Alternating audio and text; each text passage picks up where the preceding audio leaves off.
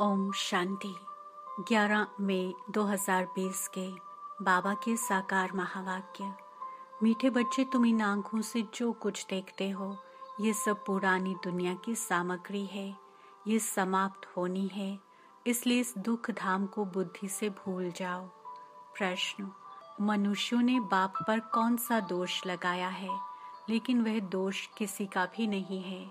उत्तर इतना बड़ा जो विनाश होता है, मनुष्य समझते हैं भगवान ही कराता है। दुख भी वही देता, सुख भी वही देता, ये बहुत बड़ा दोष लगा दिया है। बाप कहते, बच्चे, मैं सदा सुख दाता हूँ, मैं किसी को दुख नहीं दे सकता। अगर मैं विनाश कराऊं तो सारा पाप मेरे पर आ जाए। वह तो सब ड्रामा अनुसार होता है, मैं नहीं कराता हूँ। आज का गीत है।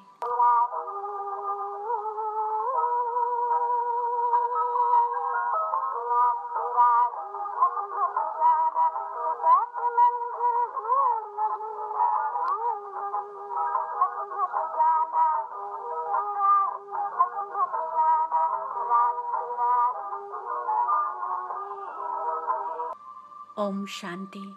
बच्चों को सिखलाने के लिए कई गीत बड़े अच्छे हैं। गीत का अर्थ करने से वाणी खुल जाएगी। बच्चों की बुद्धि में तो है कि हम सभी दिन की यात्रा पर हैं। रात की यात्रा पूरी होती है। भक्ति मार्ग है ही रात की यात्रा। अंधियारे में धक्का खाना होता है। आधा कल्प रात की यात्रा कर उतरते आए हो। अभी आए हो दिन की यात्रा पर। यह यात्रा एक ही बारी करते हो। तुम जानते हो याद की यात्रा से हम तमो प्रधान से सतो प्रधान बन, फिर सतो प्रधान सतयुग के मालिक बनते हैं। सतो प्रधान बनने से सतयुग के मालिक तमो प्रधान बनने से कलयुग के मालिक बनते हो। उनको कहा जाता है स्वर्ग, इनको कहा जाता है नर्क। अभी तुम बच्चे बाप को याद करते हो।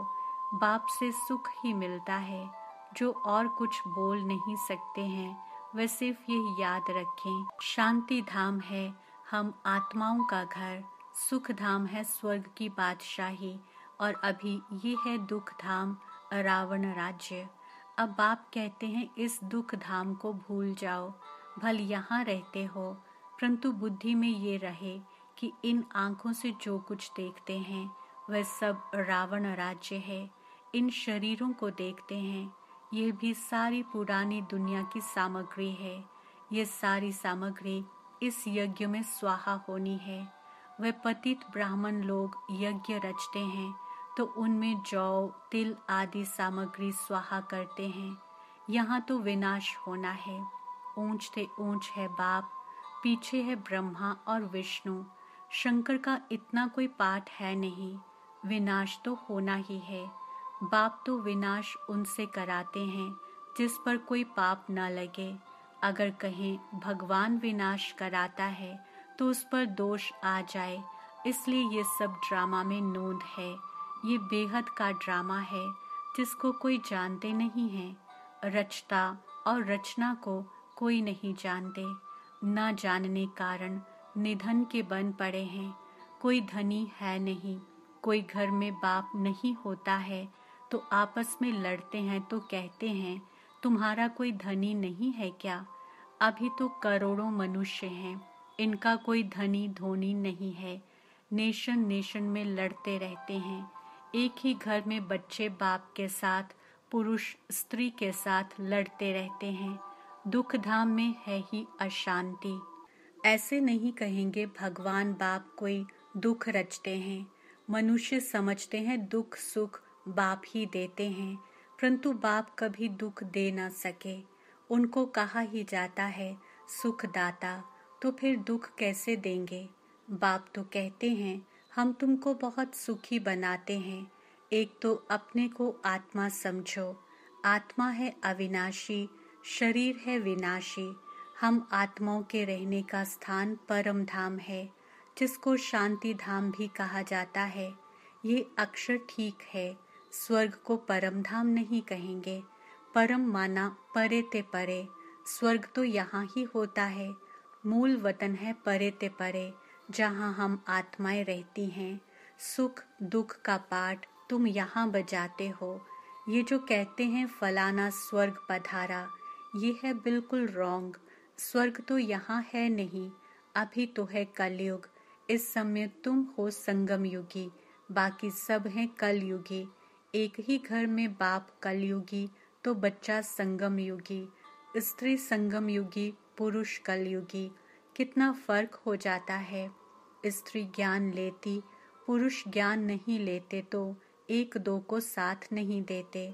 घर में खिट खिट हो जाती है, स्त्री फूल बन जाती है, वे कांटे का कांटा रह जाता। एक ही घर में बच्चा जानता है, हम संगम युगी पुरुषोत्तम पवित्र देवता बन रहे हैं। लेकिन बाप कहते, शादी बर्बादी कर, नरकवासी बनो।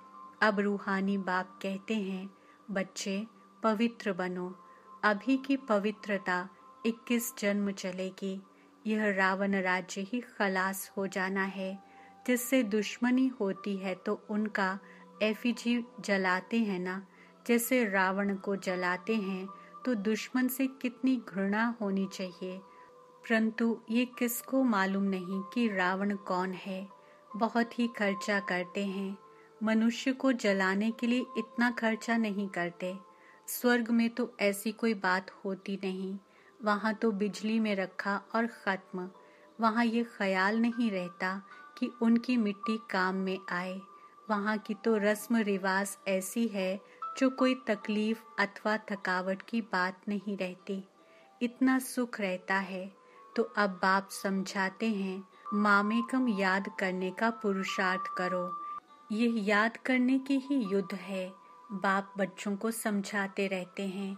मीठे बच्चे अपने ऊपर अटेंशन का पहरा देते रहो। माया कहाँ नाक कान काट ना जाए, क्योंकि दुश्मन है ना। तुम बाप को याद करते हो और माया तूफ़ान में उड़ा देती है।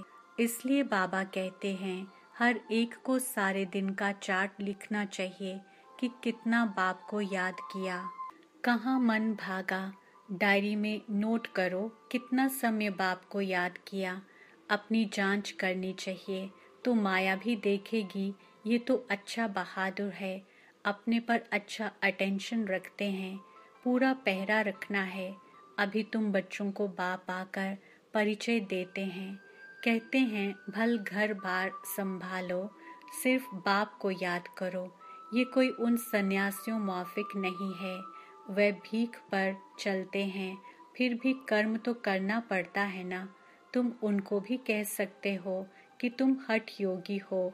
राजयोग सिखलाने वाला एक ही भगवान है।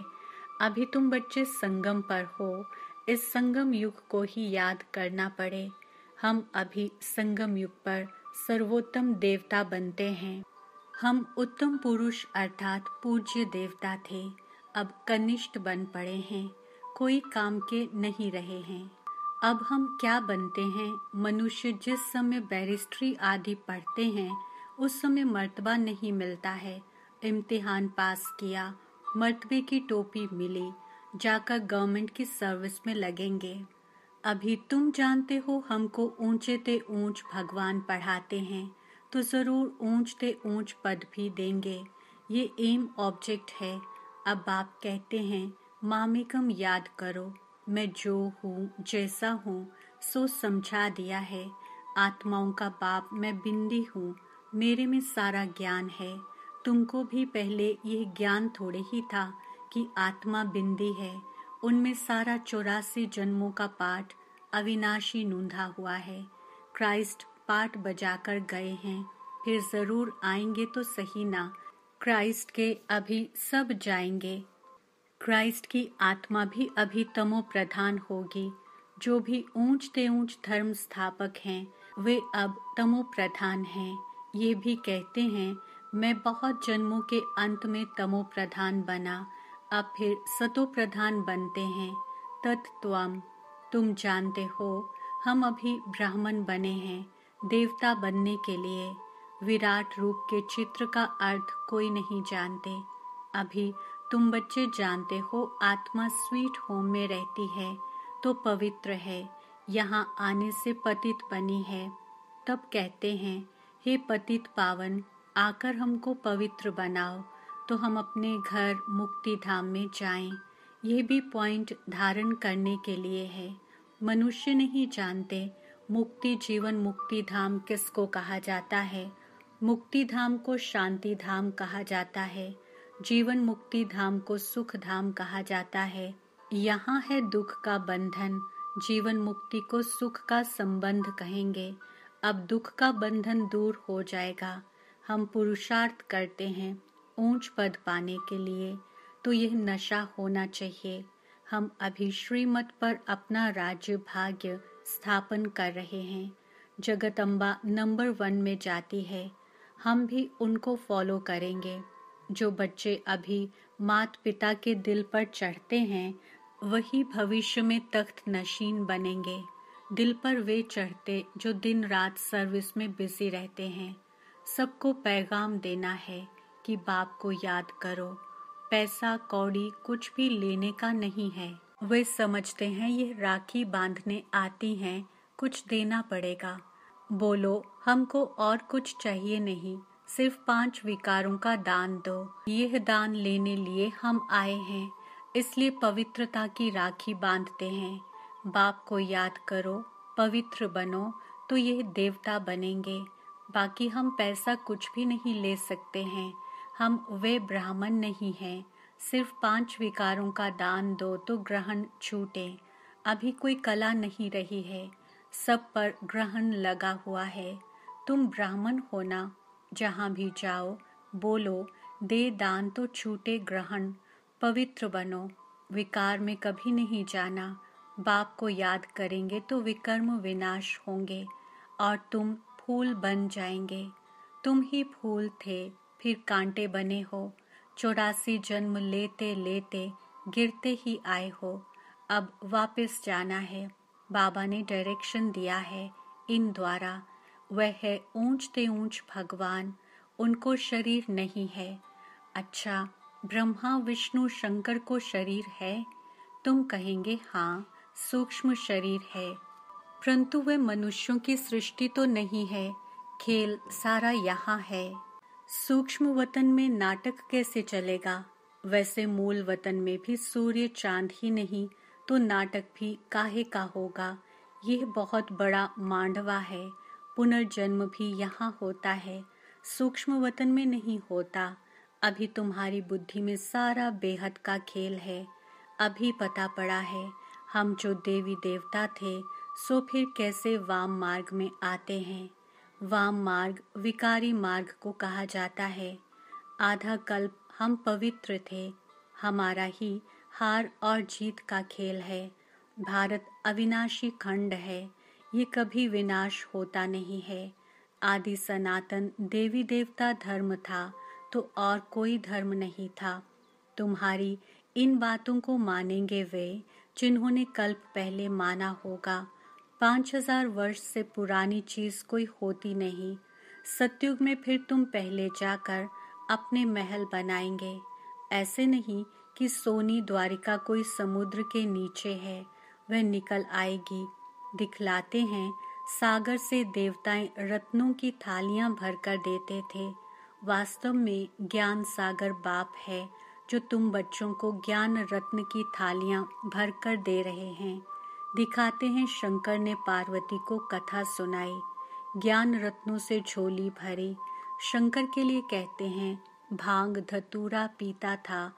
फिर उनके आगे जाकर कहते, झोली भर दो, हमको धन दो।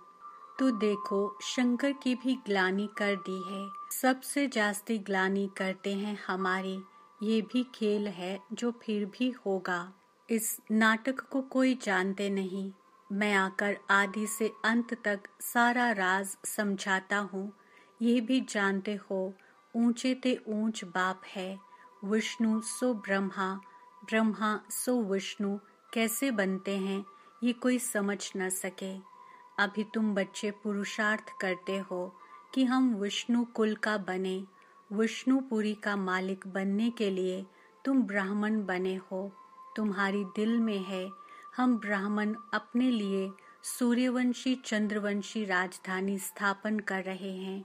श्रीमत पर इसमें लड़ाई आदि की कोई बात नहीं। देवताओं और असुरों की लड़ाई कभी होती नहीं। देवताएँ हैं सतयुग में, वहाँ लड़ाई कैसे होगी? अभी तुम ब्राह्मण योग बल से विश्व के मालिक बनते हो। बाहुबल वाले विनाश को प्राप्त हो जाएँगे। तुम साइलेंस बल से साइंस पर विजय पाते हो। अब तुमको आत्माभिमानी बनना है।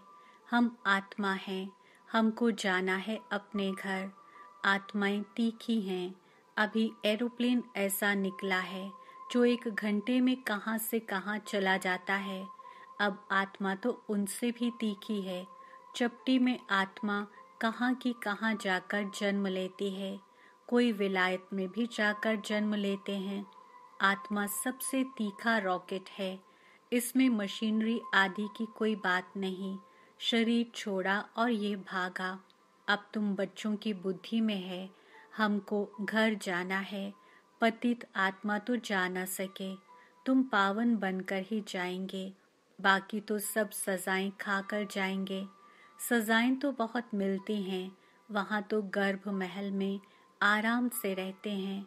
बच्चों ने साक्षात्कार किया है। कृष्ण का जन्म कैसे होता है, कोई गंद की बात नहीं। एकदम जैसे रोशनी हो जाती है। अभी तुम वैकुंठ के मालिक बनते हो तो ऐसा पुरुषार्थ करना चाहिए। शुद्ध, पवित्र खान पान होना चाहिए। दाल भात सबसे अच्छा है। ऋषिकेश में सन्यासी एक खिड़की से लेकर चले जाते। हाँ कोई कैसे कोई कैसे होते हैं। अच्छा मीठे मीठे सिकिलधे बच्चों प्रति मात पिता बाप दादा का याद, प्यार और गुड मॉर्निंग। रूहानी बाप की रूहानी बच्चों को नमस्ते। हम रूहानी बच्चों की रूहानी बाप दादा को याद, प्यार, गुड मॉर्निंग और नमस्ते। धारणा के लिए मुख्य सार, पहली पॉइंट अपने ऊपर अटेंशन का पूरा पूरा पहरा देना है। माया से अपनी संभाल करनी है। याद का सच्चा सच्चा चार्ट रखना है। दूसरा मात पिता को फॉलो कर दिल तख्त नशीन बनना है। दिन रात सर्विस पर तत्पर रहना है। सबको पैगाम देना है कि बाप को याद करो। पाँच विकारों का दान दो। तो ग्रहण छूटे। वरदान, बाप की याद द्वारा असंतोष की परिस्थितियों में सदा सुख व संतोष की अनुभूति करने वाले महावीर भाव। स्पष्टीकरण, सदा बाप की याद में रहने वाले हर परिस्थिति में सदा संतुष्ट रहते हैं, क्योंकि नॉलेज की शक्ति के आधार पर पहाड़ मौफिक परिस्थिति भी राई अनुभव होती है। राई अर्थात कुछ नहीं, चाहे परिस्थिति असंतोष की हो, दुख की घटना हो, लेकिन दुख की परिस्थिति में सुख की स्थिति रहे, तब कहेंगे महावीर, कुछ भी हो जाए नथिंग न्यू के साथ साथ बाप की स्मृति से सदा एक रस स्थिति रह सकती है, फिर दुख अशांति की लहर भी नहीं आएगी। स्लोगन अपना दैवी स्वरूप सदा स्मृति में रहे तो कोई की भी व्यर्थ नज़र नहीं जा सकती। ओम शांति।